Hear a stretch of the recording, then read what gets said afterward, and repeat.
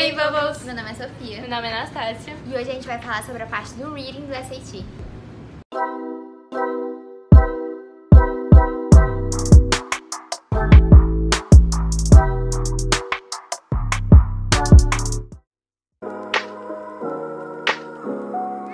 A parte do reading do SAT, ela tem 65 minutos no total e são 52 questões. São 5 textos. Então fica mais ou menos 1 minuto e 15 segundos para cada questão. Normalmente os textos do SAT são divididos entre três tópicos: História, Ciência e Literatura. Pra mim, ciências é o mais legal, porque são normalmente coisas que a gente estuda na escola, ou é mais fácil de entender mesmo.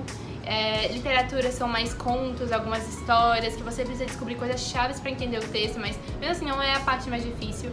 Pra mim, o pior são os textos que tratam sobre alguma história, tipo sobre voto, mulheres, é, nessa parte das mulheres é mais o feminismo, é, revoluções, é, presidentes e eu acho mais complicado. Nada que você precisa estudar antes, tem tudo no texto, mas são umas palavras mais difíceis, tem um nível maior do que o do TOEFL. Você tem que estar tá lembrando disso porque é realmente o um nível é mais puxado assim.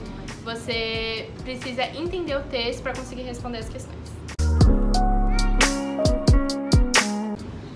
Nessa parte do reading do SAT é bem diferente assim do TOEFL, porque é, o tema é muito importante, é bem mais rápido do que o TOEFL também, são mais textos. E você precisa ler o texto inteiro antes de responder as questões. Eu gostava de, tipo, ler pelo menos a primeira questão, só pra ter em mente, e aí eu lia o texto todo, tipo, já com aquela questão em mente, tipo, já procurando a resposta e tudo. Porque é, não vai ser na ordem, não vai ser, tipo, a primeira fala sobre o primeiro parágrafo. Não, é, tipo, sobre o texto inteiro. Você tem que realmente entender e, tipo, entender rápido. Sim. E também não é que tem no Enem, que cada que tem umas questões mais difíceis que valem mais. É tudo a mesma coisa, todos valem a mesma coisa, não tem peso diferente. E aí, normalmente, quando eu tava começando a estudar, eu não, não sabia se eu faria que nem o TOEFL, que lia primeiro as perguntas, lia parágrafo por parágrafo. Mas não, gente, dessa vez você tem que realmente ler todo o livro ou todo o texto, entender realmente para responder, pra responder direitinho, porque não vai estar dividido, que nem no TOEFL, parágrafo por parágrafo. É tudo misturado, tem perguntas, é, últimas perguntas que estão falando sobre o primeiro parágrafo, é bem misturado mesmo. Uhum. Então entendam e foquem no tempo, gente, porque é muito pouco tempo. Leiam bem rapidinho, respondam. Eu acho que é mais fácil vocês lerem, entenderem e responder rápido. Isso ler, tipo, você, eu gostava mais de passar mais tempo no texto, realmente entendendo, e depois responder as perguntas, tipo, ah, já sei, já sei, já sei.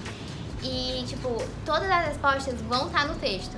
Então, uma coisa que me ajudava também era sempre achar uma parte do texto que estivesse comprovando a resposta que eu marquei. Tipo, ah, entendi, é nessa parte aqui no texto. Aí você já fica um pouco mais confiante também. Sim, não é nada subjetivo. Você vai encontrar a resposta. Uhum. Pode ser em outras palavras, em outra fra uma frase completamente diferente. Não é aquelas frases que eu já aprendi que tem na escola, que você procura no texto acha bem rapidinho. Não, gente, é palavras bem difíceis mesmo, mas sempre tem no texto. Uhum. E logo depois da parte do reading vai ter um break de 10 minutos. Que aí você pode sair, né, descansar e preparar para as próximas partes Esse da break aí vocês vão relaxar demais, porque a pior parte acabou de passar. Porque o reading realmente é a pior parte, gente. É a parte mais cansativa. Depois que vocês passam disso, vocês já vão uhum. descansar um pouco, ficar um pouco mais aliviados, porque a pior parte já passou. A gente também tem um link, um site que tem várias questões que, nosso, que a gente fez aulas para SAT que os nossos professores eles indicaram pra gente esse site. Não é um dos melhores, não é do SAT, não é do College Board, mas é, funciona muito, é um ótimo é, site para vocês praticarem. Sim, e a gente também tá fazendo cada parte detalhadamente sobre cada sessão da SAT, então fiquem ligadinhos, se inscrevam, deixem um like, sigam a gente no Instagram. E comentem aqui embaixo se vocês tiverem alguma dúvida que a gente vai estar respondendo tudo. Sim, e até o próximo. Não deixem de assistir esses vídeos que são muito importantes. Tchau. Tchau.